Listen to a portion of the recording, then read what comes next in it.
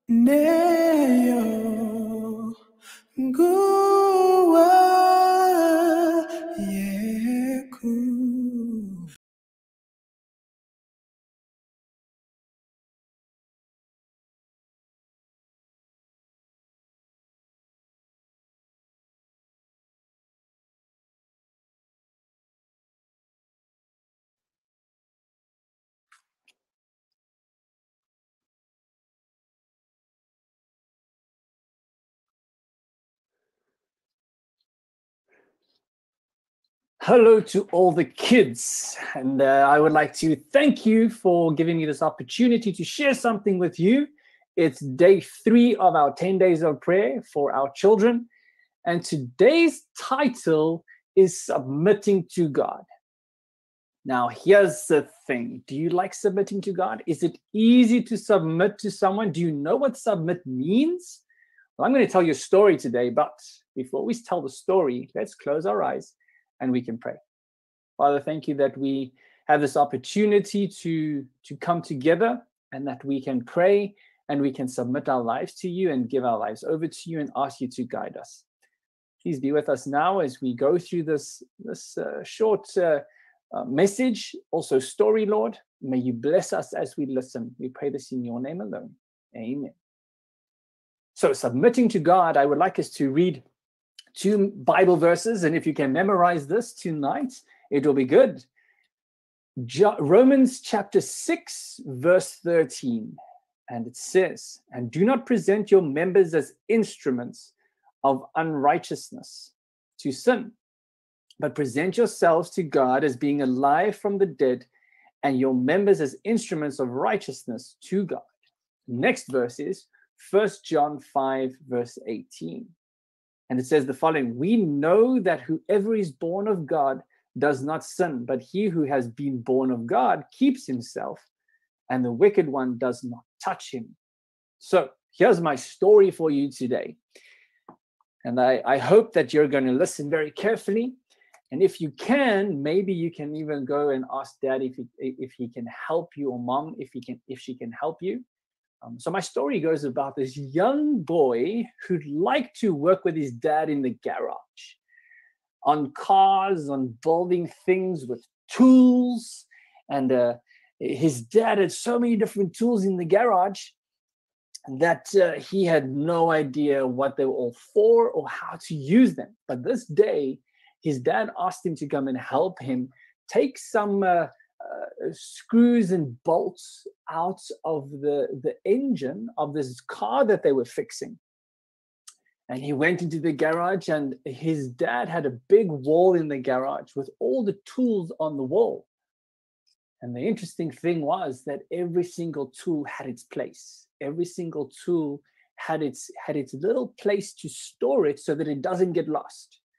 And it's very easy to lose so many different small tools, especially different spanners and screwdrivers and different um, bits that you can put into the drill and things like that. And every single thing has its purpose. And this day, his dad wanted to show him the importance of different types of spanners. And he went and showed him how important it is to have a large spanner to get get those big bolts nice and loose. And he, he went and took a 22, which is a big bolt like a big spanner like this, and he put it on the bolt, and it it had he had to have a lot of energy and a lot of strength to move that bolt. It's very difficult to loosen those big bolts. And then his dad went and showed him a small little six or seven size spanner. And he, he took this, this spanner and he went to this tiny, tiny little little bolt to loosen it. And he literally could loosen it with, with his with his two fingers by pushing it. So it was very, very delicate and soft working with that bolt. And then his dad, when he said to him, one of the spanners that is used the most on on on, on lots of different things in the house, outside in the car, etc., etc., is the number 13. And it's important for us to remember that number 13 is probably used for, for 80% of the work that we're doing. Some people are going to say 17 is also important, but but the 13 is used for a lot of the different work. And it's it's used to loosen many many different bolts connecting different things in in in your work but now what about 15 the little boy asked his dad what about 15 dad? How about 15 15 is used not that often. 15 is used for specific bolts for specific jobs that need to be loosened. But okay but how about the number 32 dad? Do we get it at 32 it's a big spanner. And his dad said same with 32 it's not really used that much. How about 11 or a 10? And he said, that's used a little bit more than a 15 or a, 20 or a 21 or even a 9. And the little boy was wondering, this is very interesting. Why is his dad actually sharing this with him? And then his dad said, Before I am going to answer that question to you, I have to tell you more about the shifting spanner, which, which actually is one spanner. And it has, it can be adjusted to all the different sizes to be used. And he went and then his dad went and said this to his son. He said, Son, you could be a spanner in life. And God is the one working with the spanner. Now imagine you would walk up to the spanner and you would want to take a 13, but the 13 said, "Mm-mm, You cannot use me. I don't want to be used today. I don't want to be used to loosen that bolt. Do you think that bolt's going to get loose? And, and the, the thing is, the bolt is the problem in life. The bolt is, is the, the challenge that we face in life. And if the 13 spanner isn't willing to actually be used by God or by, by the owner of that spanner, that bolt's not going to be loosened. So if we're a spanner in life, and sometimes you might be used as a 13, or you'll be used as a 15 for specific little jobs that you need to do. Or you might be used as a shifting spanner, which can be used on so many different nuts and bolts. So here's the thing if you're the spanner, we have to submit to God that God will use us in his work, that God will use us to reach people and help them overcome problems and challenges that they face in life today. So I'd like to pray with you and encourage you that we have to surrender our lives over to God and, and be a spanner in the Lord's hands so that He can guide us and use us to help people overcome problems that they face in life today. So I would like to challenge you to claim the promise that the Lord wants us to surrender our lives over to Him. And I'm reminded about a song which says, I surrender all. And this is what we're supposed to be doing. We're supposed to be surrendering our life over to God. So come, let's pray and let's ask the Lord to surrender our lives over to Him. Father, we thank you that we can surrender our lives, Lord. And tonight, I would like to pray for each and each and every little child listening, and also every family member listening, Lord, that they will surrender their lives over to you and uh, give their lives over to you, Father. How can they do that, Lord? Is that they can go on their knees and they can ask you to come into their hearts. Bless them now, Father, and may you guide them and lead them. We pray this in your name alone. Amen.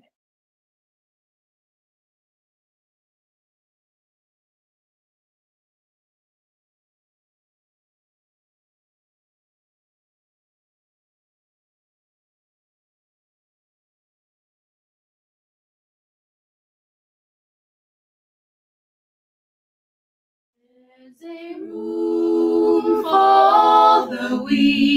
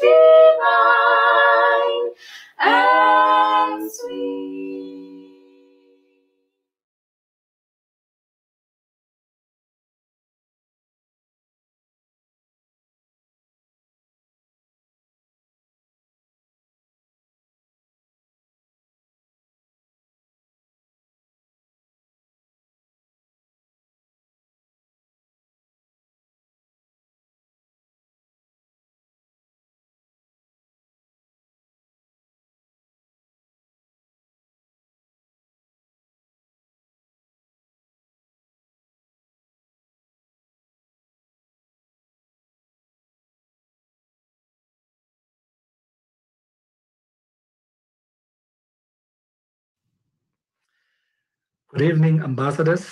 Uh, allow me to greet you this evening in the wonderful name of our Lord and Savior Jesus Christ. Amen. Uh, friends, uh, this is the third day of our 10 days of prayer, um, and we've del- deliberately uh, included you as, as ambassadors um, and to be part of this special program uh, of the church where we are calling all of you as ambassadors to come and join hands with the world church as we talk to our God in prayer. And surely in 2021, we have so many things we want to address. We have so many things we want to ask. Um, we have so many things we want to pray for uh, as we talk to our God. And I know um, as, a, as a young person, as an ambassador, um, you you also have so many things you want to say to God in prayer. Uh, you have plans, um, plans to finish your high school, plans to go to university, uh, plans for A, B, C, D, one, two, three, four, and all those plans um, need to be submitted to God in prayer. Ambassadors, for this evening, we are going to be reading from the Bible, and I invite all of you to turn uh, to the book of Romans, chapter 6. Book of Romans, chapter 6, and there we read verse 13. Romans chapter 6, and we read verse 13. And the Bible says, Do not present your members to sin as instruments for unrighteousness, but present yourselves to God as those who have been brought from death to life and your members to God as instruments of righteousness. Powerful text, ambassadors. And this evening, we are addressing a subtopic that says submitting to God. Submitting to God. Powerful topic for ambassadors. Submitting to God. And I want to ask you a question this evening. What does it mean to submit to God? If I were to ask you as an individual, what would you say to me in response? What does it mean to submit to God?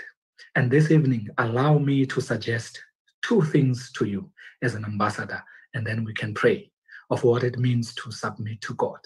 And of course, I know you may have other points you may want to say, but just for this evening, allow me to say two points and then we pray.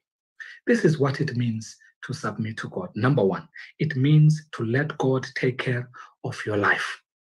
That's what it means to submit to God, to let God take care of your life and also take care of your plans. And the question I want to ask you as an ambassador is Do you have a life? Yes, Pastor, we do. Yes, Pastor, I do have a life. Yes, I also want to agree. You do have a life. Do you have plans? Yes, we do have plans as ambassadors. But when we submit ourselves to God, it means we are allowing God to take care of the very same life we say we have. It means uh, we are allowing God to take care of our plans. And of course, um, we, we, without even repeating, uh, uh, having plans and having a life may mean one thing. And it, that's okay. But when we submit ourselves to God, it means we are allowing God space so that He can be fully charged, uh, fully fully in charge of of of our lives. He take he can take control of the very same life that we we possess. And also our plans. Proverbs 19 verse 21 says man proposes but god makes a final decision I know as an ambassador you have plans. I know you have a long list of things you want to do in 2021. And when you submit to God, um, you are simply saying, God, please be the one who decides as I propose. And so, point number one, I repeat, let God take care of your life and also take care of your plans. When He does that, He can only do it when you fully submit yourself, not half, but fully submit yourself unto God. Point number two what does it mean to submit to God? It also means to say you allow Jesus to free you from sin. So when you submit yourself to God, it may actually mean that you are looking for cleansing. You are looking uh, for the. You are in search of the blood of Jesus, so that you can you can be cleansed, you can be purged from your sins.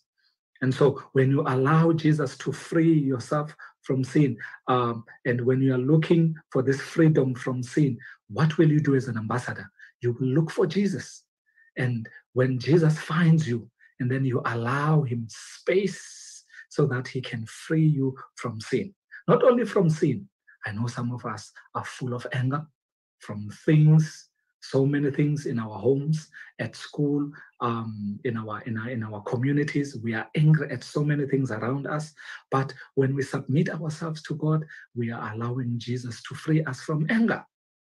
We are allowing Jesus to free us from envy. Are we envious as uh, um, ambassadors? Yes, we we are. We look around. There's so many things we look at, and we wish we could have. Um, but we are we are freed if if we submit ourselves unto God from jealousy.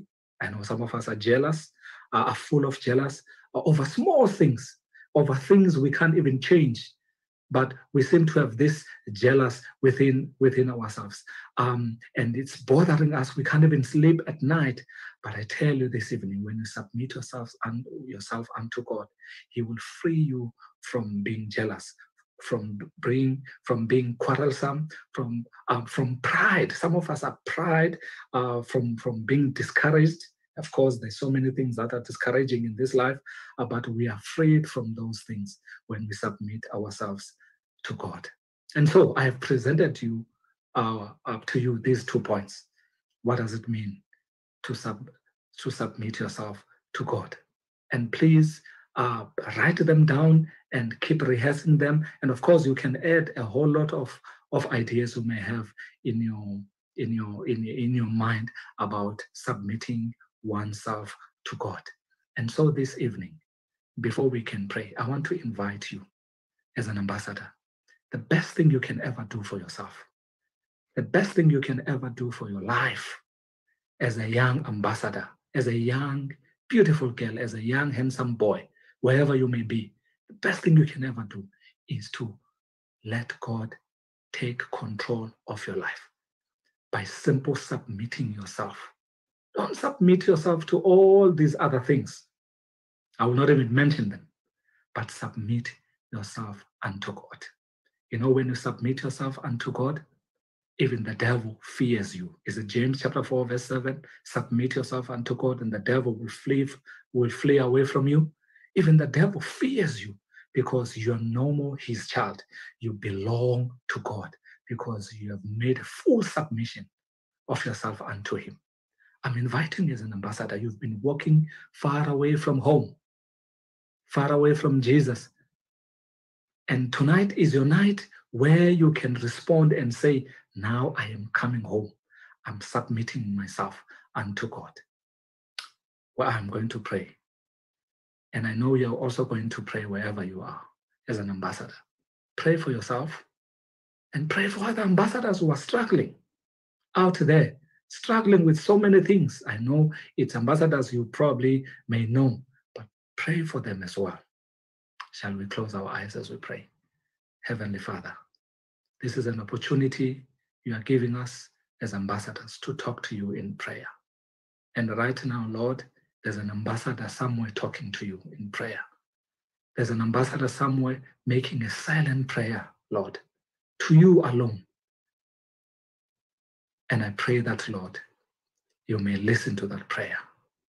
There's an ambassador who is standing up in his heart or her heart this evening saying, Lord, I've been wandering away from home. Now I am coming home. I am coming to you as my father. I'm coming to you as my guide. I am coming to you as my everything. Please accept me. And I pray that, Lord, you may open your hands wide to accept that ambassador. Thank you so much, Lord, that you are a loving God, that you are God who forgives. Please forgive our sins for we pray in Jesus' name. Amen.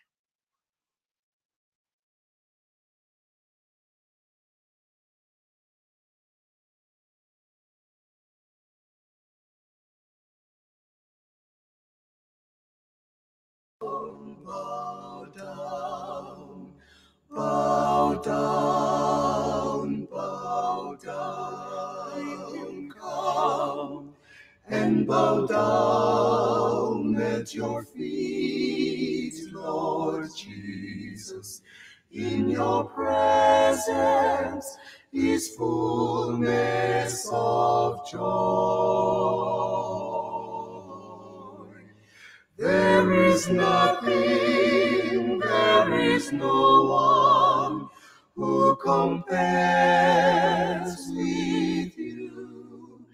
I take pleasure in worshiping you, Lord. I bow down,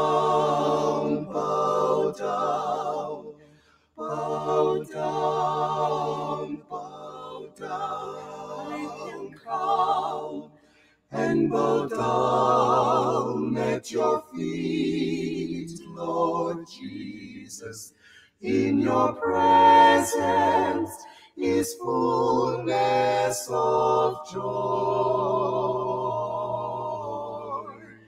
There is nothing, there is no one who compares with you. I take pleasure in worshiping you, Lord. Bow down, bow down, bow down,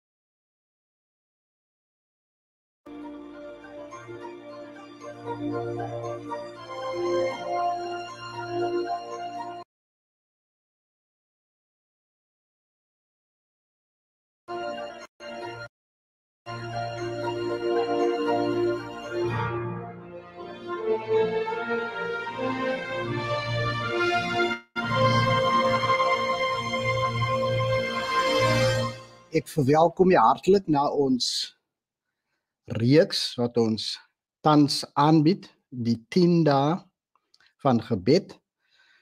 Vandag is ons derde aflewering en ons tema is totale oorgawe.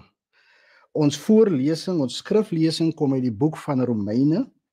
Ek lees vir u in twee vertalings. Romeine hoofstuk 12 en vers 1. Romeine hoofstuk 12 en vers 1 totale oorgawe. Ons het ons uh gedigte bekende uh man Paulus in die woord hier. Hy sê in vers 1 van hoofstuk 12 van Romeine ek vermaan julle dan broeders by die ontferminge van God dat julle julle liggame stel as 'n lewende heilige en aan God welgevallige offer. Dit is julle redelike godsdiens ek lees dit ook graag uit die boodskap. Moderne Afrikaans as ek dit so kan stel. Ek wil nou 'n ernstige versoek tot julle rig Ek doen dit omdat julle begryp hoe baie God vir julle omgee. Gee julle hele lewe aan hom. Julle moet lewende offers in God se hand wees. 'n Lewe wat voltyds afgesonder is vir hom is presies waaroor godsdiens gaan. Is dit nie pragtig nie? Kom ons kom ons bid saam. Vader, ons is bly dat ons 'n God kan dien wat vir ons onvoorwaardelik lief is. Dankie dat U vir ons omgee. En ons weet dat U kosbare woord is een van die beste maniere hoe U tot ons as U kinders spreek. Ons vra nou Here waar ons hierdie woord oopmaak, weer eens ons vra dit kinderlik En ons vra dat U Heilige Gees vir ons sal stuur, vir ons sal help om te verstaan. En weer eens Here dat hierdie woorde ook dan in ons lewe 'n verskil kan maak. Seën ons nou, seën ons met U teenwoordigheid, seën elke luisteraar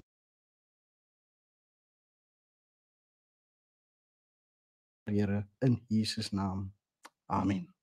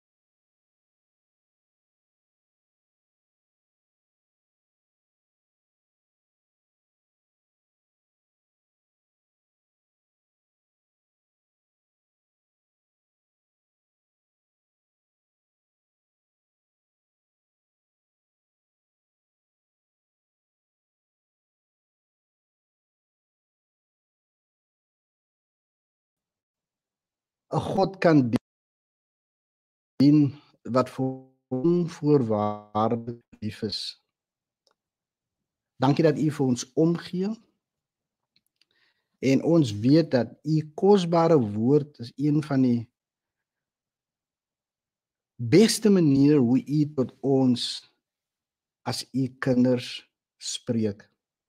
Ons vra nou Here waar ons hierdie woord oopmaak, weer eens ons vra dit kinderlik en ons vra dat U die Heilige Gees vir ons sal stuur, vir ons sal help om te verstaan. En weer eens Here dat hierdie woorde ook dan in ons lewe 'n verskil kan maak. Seën ons nou, seën ons met U teenwoordigheid, seën elke luisteraar Here in Jesus naam. Amen. Nou, as ons kyk na hierdie teks en ons kyk na wat Paulus hier mee besig is, is dit baie duidelik met die inleiding en die woorde wat hy gebruik dat hy besig is eintlik om die onderwerp waaroor hy in die vorige hoofstukke gepraat het te verander. Maar terselfdertyd sê hy ook dat hierdie nuwe gedagtegang wat hy nou ingaan direk verband hou met sy vorige hoofstukke en bespreking.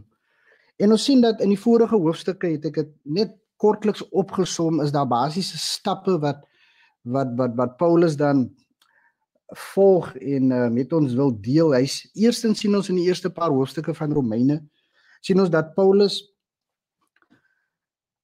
maak die sy doelwitte van wat hy wil sê maak hy aan sy aan sy ontvangers van sy briewe bekend. Tweedens help hy hulle en ook selfs ons om te verstaan die lengte en die diepte van sonde. En hy laat wel die Jood en die heiden, hy laat dit hy dit maak dit baie duidelik en hulle ondubbelsinnig laat hy hulle verstaan en lig hulle in dat almal het gesondig en kom kort van die heerlikheid van God. Die derde stap dan nou bied hy oplossings vir die sondeprobleem aan. En hy verduidelik baie mooi in die hoofstukke daarna hoe ons inpas in God se patroon en hoe sy genade vir ons almal is en hoe dit uitwerk. En Paulus het dan nou sy teologie aangebied en nou kom hy na hoofstuk 12 toe. Nou is dit tyd vir die praktiese toepassing en die implementering van hierdie konsepte, hierdie gedagtes wat hy dan nou gedeel het. In Paulus se gedagte is regverdigmaking deur geloof baie belangrik. Regverdigmaking deur geloof beteken maar net dat ons kom na God toe in geloof en ons glo dat wanneer ons hom aanneem deur dit wat hy vir ons op die kruis van Golgotha gedoen het, dat ons daardeur vergifnis van ons sondes kry en ons sondes word vergewe en ons word dan geregverdig. Ons staan voor hom asof ons nog nooit gesondig het nie. 'n Baie belangrike konsep vir Paulus.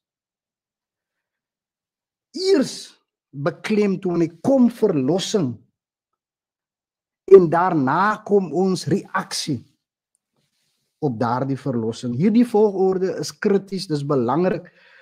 En en in Paulus se beroep en argument is dan dat die manier hoe ons ons lewe dan lewe nadat ons geregverdig is en na ons regverdigmaking ontvang die manier hoe ons dan ons lewe hanteer as afhanklik van hierdie proses. So as Christus ons regtig regverdig het, sal dit aandui in die manier hoe ons ons lewens vorentoe hanteer. Daar is ongelukkig veel mense wat strewe om gehoorsaam te wees sonder dat hulle werklik waar verlos is. En daar's 'n Engelse term wat sê wat dit basies noem legalism, wettiesheid.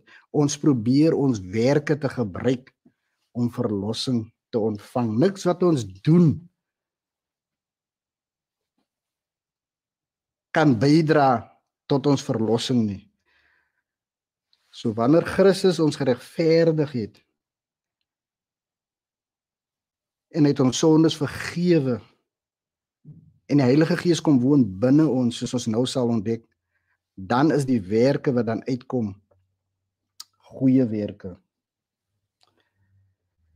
Nou jy mag die vraag vra, hoekom moet ons of ek myself oorgee aan Christus? Is dit nodig? Ek wil graag 3 aanhalings lees uit die boek Koning van die Eeue. En ek wil dit kortliks vir u lees en ek hoop dat u dan 'n begrip kan kry hoe belangrik dit is hierdie gedagte van oorgawe. Die eerste gedagte. Baie het hulself nie aan God oorgegee nie en dikwels as gevolg van onkunde. Maar in plaas daarvan het hulle hulle lewens in hulle eie hande geneem Hulle het kort gekom aan die krag van die Heilige Gees wat die gawe is wat God wat al God se ander gawes voortbring. Die tweede gedagte.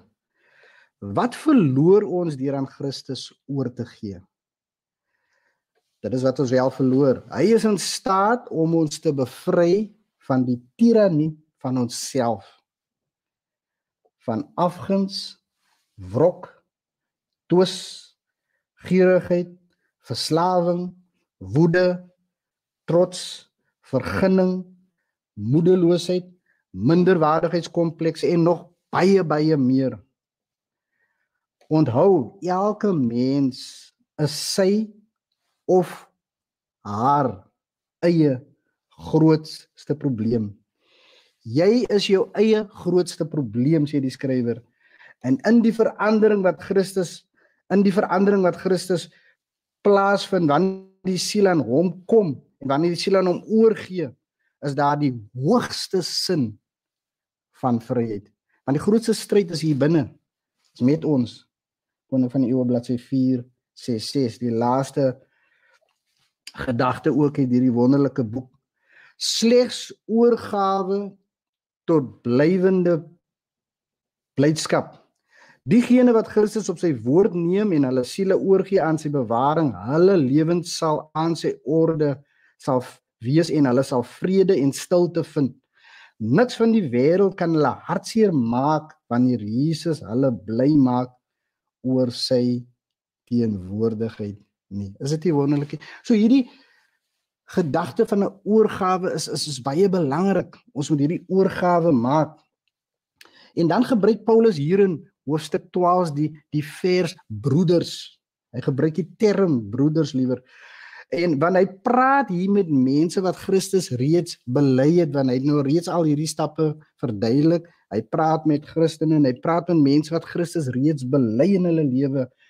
En hy is hy hy praat van die onderveronderstelling af dat hulle reeds 'n volkomme oorgawe gemaak het. En dit is hoekom hy sê ek vermaan julle dan broeders by die ontferming van God en dan sê dat julle julle liggaam stel as 'n lewende, 'n heilige en 'n welgevallige offer en dit sê hy is julle redelike godsdiens, offerandes. Ons weet dat reg deur die jaar het die Israeliete offerandes gebring en ons weet wel dat daar verskillende tipe offerandes was. Daar was byvoorbeeld die brandoffer uh wat te doen gehad het veral met nasionale sondes. Ehm uh, en dit was ook altyd deel van 'n gebed en dit was die offer was gebring net om God te behaag om hom om hom tevrede te stel. Dan daar was dan die sondeoffer wat meer gedui het op die vergifnis van sonde. Daar was ook die skuldoffer. Uh wat ook gedoen het, wat ook gehelp het met die uh vergifnis, maar ook met die fokus op die restituisie. Uh en dan hierdie offer sou jy dan bring. Dan was daar 'n graanoffer en dan ook dan ook 'n vredeoffer. Nou die vredeoffer het gegaan om God se goedheid te vier en om nader aan hom te kom. Dit was die doel van die vredeoffer. Nou hierdie vredeoffer, die laaste een wat ek nou genoem het, is die enigste een waar die persoon wat geoffer het dit kon eet. Alle ander offers of meeste van die ander offer, ander offers was dan natuurlik op 'n altaar gebrand en uh die priesters weet ons soos die Ou Testament ons leer het dan ook 'n gedeelte van hierdie offers gekry Die vredeoffer was heel dikwels aangebied as 'n maaltyd en veral 'n gemeenskaplike maaltyd waar ons almal saam sal eet soos waar ons 'n partytjie vier en dit was op so 'n wyse aangebied. Alle offers wat die Israeliete gebring het, het die persoon wat geoffer het, het dit om iets gekos. Of jy nou ryk was of jy nou arm was of jy nou 'n duif of 'n lam gebring het maar die offer het jou iets gekos. En mense sal vra waarom 'n offer? Waarom sou God verwag en vra dat hulle offer bring? Was dit miskien dat God honger was? Psalm 50:12 tot 13 sê vir ons God was kwaad met die volk oor hulle sondes. En terwyl hulle offer vra hy, vra ek dit die offer omdat ek honger kry? Want die aarde en alles daarop behoort aan my. Eet ek miskien die vleis van bulle wat julle offer vra hy? Jy sien God het nie offerandes nodig om sy honger te te stil nie. Maar waarom het God dan die offerande stelsel gegee. Ons weet daar is baie redes, maar laat my toe om een rede vandag aan die voor te hou. Hy het die offerstelsel aan die Israeliete gebied en ek wil ook sê die moderne offerstelsel bied hy aan ons om hulle te herinner dat niks hulle het behoort aan hulle nie selfs as 'n nasie as 'n individu behoort hulle aan God. En vandag as Christene vier ons uh, of bring ons nie meer dierlike offers nie, maar ons weet dat Christus het homself geoffer aan die kruis van Golgotha en hy het die finale, hy was die finale opoffering en het die prys vir ons sondes betaal. Jy sal sien hier in die teks praat Paulus van ons liggaam en hy praat van 'n lewende offer en dis interessant dat in die Griekse denke uh was die liggaam 'n tronk wat agtergebly het vir die geestelike en natuurlik die verstandelike voortbestaan. Dit was 'n tronk wat agtergebly het. Maar ons sien nie in die Christendom nie. Die Christen se liggaam is belangrik want dit is 'n tempel vir die Heilige Gees. En so om 'n lewende offer te wees beteken toewyding aan Christus vir die res van jou lewe. Dit beteken 'n daaglikse en 'n voortdurende opoffering van jouself en ook dit wat jy het aan God. Die Christense offer as 'n lewende mens, 'n man of 'n vrou. Hy bied homself lewendig aan met sy energie en sy kragte toegewy vir die diens van God. Ek wil vandag net kortliks hulde bring aan iemand wat ek geken het wat presies dit wat Paulus hiervan praat uitgeleef het. 'n Persoon wat hom volkome aan God oorgegee het. Hy was nie perfek nie. Hy was 'n mens. Hy het gefaal. Hy het sy familie in die steek gelaat maar hy het teruggekom en het 'n volkomme oorgawe gemaak aan God. En nadat hy daardie oorgawe gemaak het, het hy homself as 'n lewende offer vir God gebied. En dit sê Paulus is ons redelike godsdiens. Dit sê die boodskap, dit is ware godsdiens. Daardie persoon waarvan ek praat is my pa,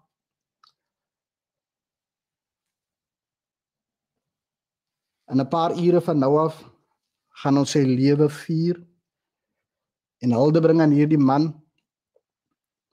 Maar dis 'n man wat as 'n weeskind groot geword het. Dit is 'n man wat hoë ideale vir homself gestel het om eendag 'n skoolhoof te word.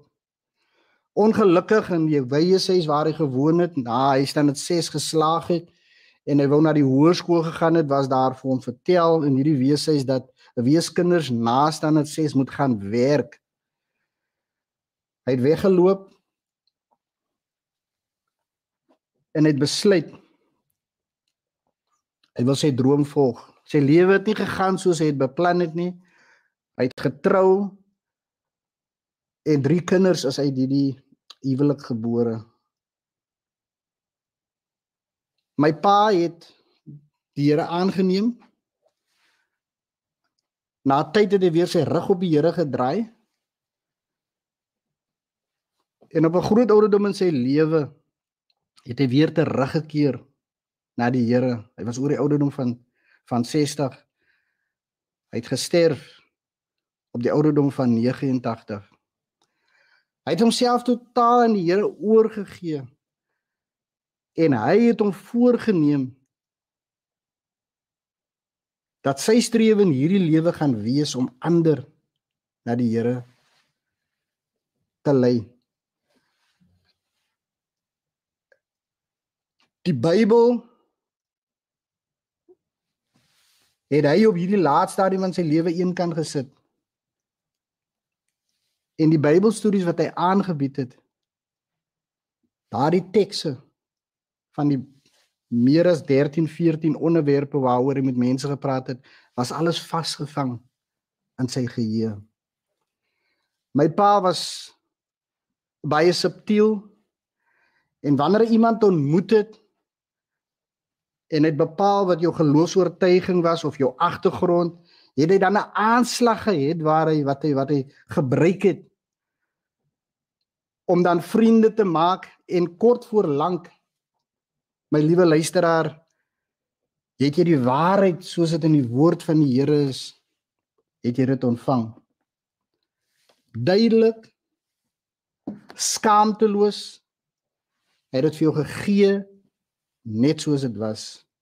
Ek het eendag die voorreg met hom gehad om saam met hom te gaan om met 'n paartjie Bybelstudie te doen en voor hy enigsins kon doen het hy vir die paartjie gesê wat saam gewoon het dat hulle hulle lewe moet regstel voor die Here dat voor hulle kan eerstens om aan te gaan hier moet hulle hulle sondes bely en hulle moet planne maak dat hulle in die eg verbind word wat wel gebeur het. Dit was my pa se werk. Hy het die lengte en breedte van Suid-Afrika deurgereis. Suidwes-Afrika, Namibië en daar het hy mense reg oor hierdie wonderlike mooi land van ons na die Here gelei. Ons as kinders, as familie, is so bemoedig op hierdie stadium van ons lewe vir die oproepe wat ons kry, vir die boodskappe wat ons kry uh van mense wat sê die indruk wat hy op hulle lewens gemaak het. 'n Volkomme oorgawe en 'n lewende offer. In hierdie COVID-19 tydperk het hy by my die laaste 4 maande gebly en ek het vir hom gesê hy hoef nie uit te gaan nie, is gevaarlik vir ou man. Ek het eintlik met hom gespot en hom gesê dat hy het al klaar reeds sy plek in die hemel verdien met al sy werk. En ek sê vir hom as hy nou uitgaan na werk, hom nou uit die hemel het, het hom klaar ingewerk en nou werk hom weer uit. En hy het vir my gesê gaan man, uh, ek moet vir die Here werk en dan was ek gemaan ek ek moes hom nou net na in my kar en laai en neem tot daar waar hy Bybelstudies gegee het. My pa was rusteloos. Tot in sy hospitaalbed selfs daar voor hy heen gegaan het het hy homself as 'n lewende offer aangebied en Christus met ander gedeel. Judson van Deventer was 'n kunsonderwyser. En hy was ook 'n leuke prediker in sy kerk. En terwyl hy eendag in die koor sing, kry hy 'n dringende oortuiging dat hy evangelis moet word. En hy skryf dit het hom 5 jaar geneem, 5 jaar van 'n innerlike stryd voor hy die besluit geneem het om hom volkome oor te gee aan Christus vir sy diens. En na hy dit gedoen het, skryf hy hierdie wonderlike lied. Na hierdie intense stryd en hierdie oorwinning skryf hy hierdie lied. Ek gee alles oor. Ek gee alles oor. Ja, alles aan my dierbare Heiland gee ek oor. Niks behou ek Heer vir my. Ek gee alles oor. Luisteraar, ek wil vir uitdag. Ek wil vir aanmoedig. Ek weet nie wat in u lewe aangaan nie. Maar ek wil vir u sê dat dit maak nie saak waar u uself in hierdie lewe bevind nie. Dit mag wees dat u alreeds meer as 10 20000 tree van Christus af weggestap het. Maar die Bybel sê dit vat net een tree om terug te kom. Ek wil vir u aanmoedig as u nie die Here in die lewe het nie om hom aan te neem om daardie volkomme oorgawe te maak. Miskien luister u na my vandag en u Jy het al reeds jare terug u lewe vir die Here gegee, maar jy het koud geword. Daar's nie daardie volgende oorgawe wat jy gemaak het vir hom en hier is nou 'n geleentheid. Ek wil vir u aanmoedig om daagliks om weer daardie oorgawe te maak dat u jouself oorgee aan die Here en dan wanneer u jouself oorgee sê Paulus vir ons sal Christus se gees binne ons kom woon. Hy sal ons verander en ons sal onsself lewende offers as lewende offers beskikbaar stel vir hom want dit is ons redelike godsdiens en ek kan vir u sê daar is goor geen groote vreugde in hierdie lewe wanneer ons met mense werk en wanneer hulle die Here aanneem as gevolg van die klein rol wat ons in hulle lewens gespeel het. Die Bybel sê daar's blydskap in die hemel wanneer een sondaar tot bekering kom. Dit is 'n werk wat selfs engele begeer, maar die Here het dit aan ons gegee om sondaars na die Here te lei. Die natuurlike gevolg van 'n persoon wat 'n volkomme oorgawe gemaak het, is om ook soos my pa ander mense na die Here te lei. Kom ons bid saam. Hemelse Vader, baie dankie vir u liefde weer eens vir ons as u kinders. Dankie dat u ons uitgekies het. Dankie dat voor ons gebore was het u reeds 'n plan vir ons lewens gehad. En ons weet dat dis die Here se begeerte dat geen een van sy kinders verlore mag gaan nie, maar dat elkeen in sy koninkryk gered mag wees. Ons lewe in 'n wêreld wat in flarde is, Here. Ons lewe in 'n wêreld met soveel pyn terwyl ons hier rondom die woord vergader sterf duisende mense daar buite sonder Christus. Vader ons wil hierdie wonderlike assuransie polis hê dat ons 'n oorgawe gemaak het dat ons aan Christus behoort en dat daardie blye môre wanneer die besyne weer klink wanneer die hemel sal oopskeur wanneer ons die grootste skouspel sal sien wat hierdie wêreld ooit sal beleef wil ons gereed wees om saam met die huis toe te gaan. Ons wil kwalifiseer om burgers van u koninkryk te wees. Seën ons seën ons soos ons hierdie besluit maak om 'n volkomme oorgawe aan u te maak.